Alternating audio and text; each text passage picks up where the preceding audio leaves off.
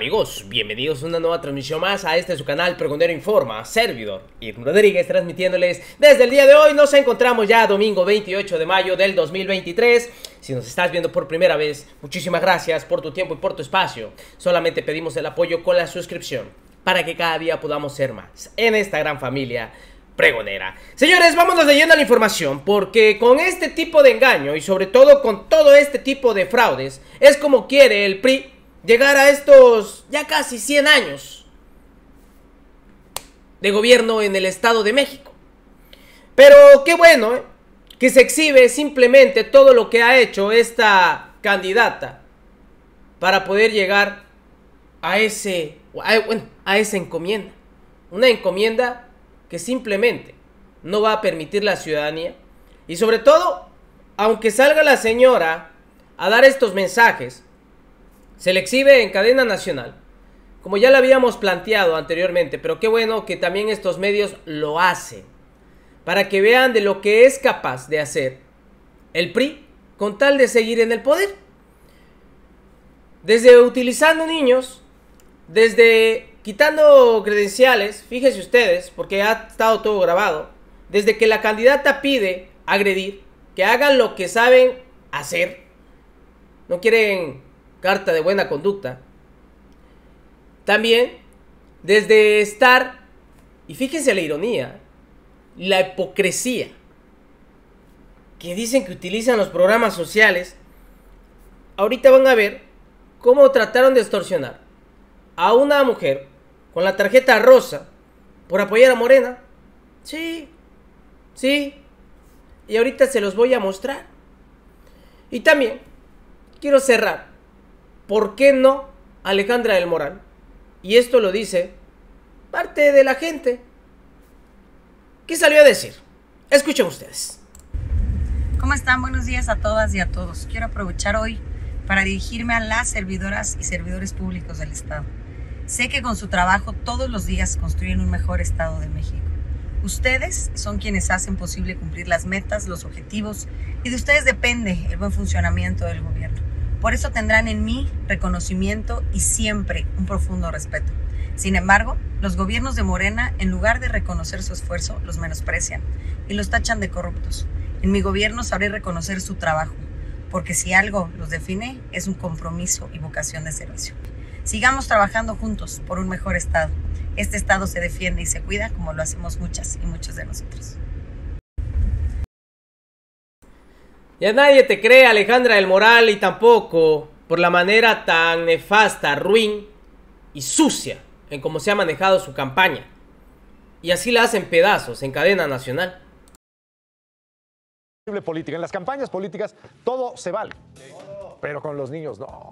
Vea este caso terrible de Alejandra del Moral, candidata prianista al gobierno del Estado de México, quien decidió utilizar a unos inocentes infantes para su politiquería. Vea usted este horrible festival infantil.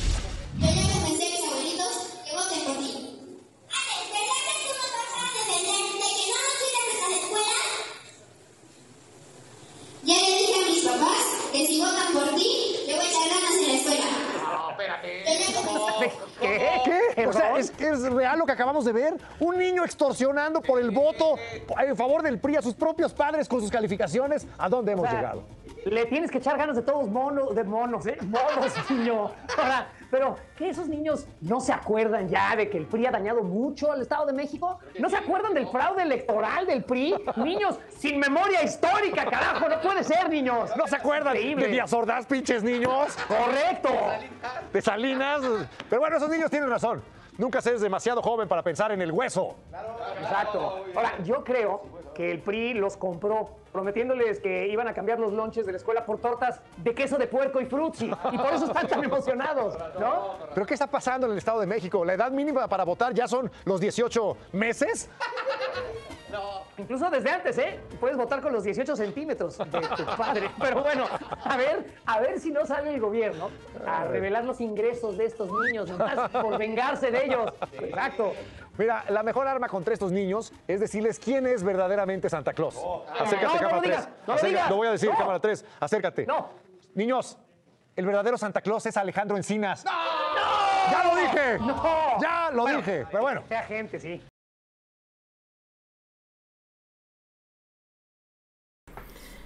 En este programa sabemos que manejan un humor negro, así es como se ha manejado, pero al menos se exhibe la manera tan ruin y nefasta en cómo quieren ganar el voto. Con los niños no. Y no solo eso, les decía, vean, ¿eh? así es como extorsionan, así extorsionan las coordinadoras del salario rosa a las beneficiarias, para que quede todavía más evidencia de lo que está haciendo Alejandra del Moral. Inmoral, mejor. Alejandra la inmoral. Buenas tardes, mi nombre es Alicia Carrillo Hernández, soy del municipio de Tlalnepantla. Este, vine a una reunión aquí que me invitaron de Morena, yo siempre he sido morenista. Hace unos meses atrás me invitaron a lo de la tarjeta rosa, a donde solo he recibido solamente un apoyo.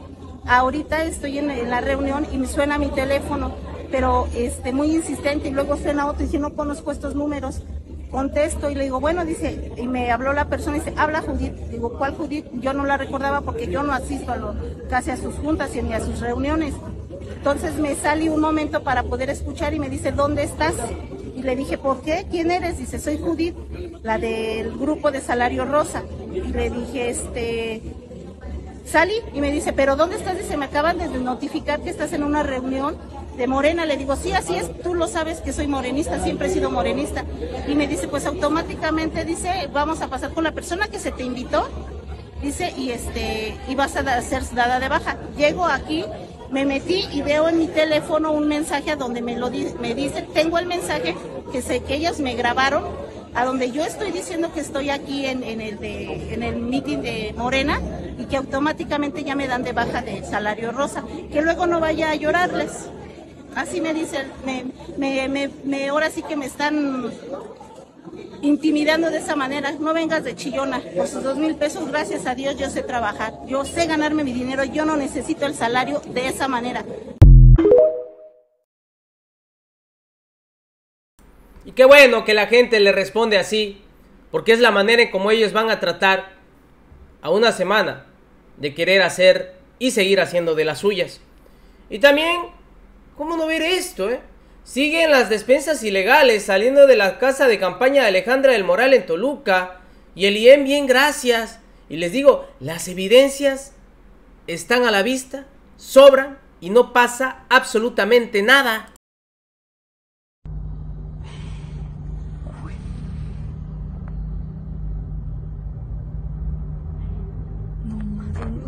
Mames. Y allá adelante, atrás hay más, mira, ahí está todo el movimiento atrás de ahí. Están todos.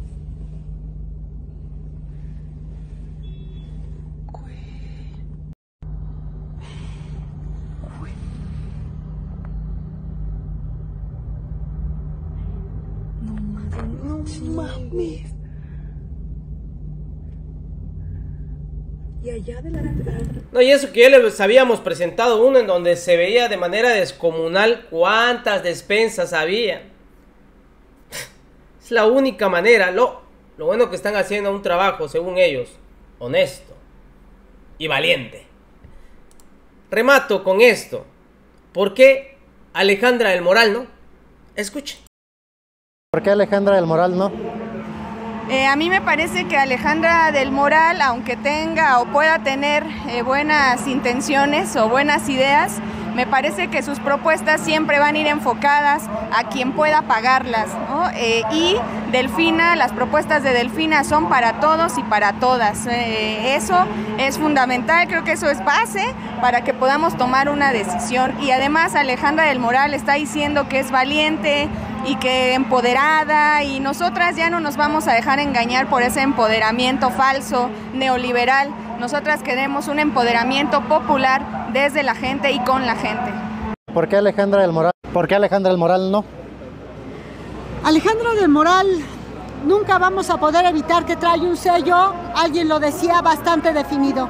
Y ella lo único que va a representar son los intereses del PRI, del PAN y del PRD.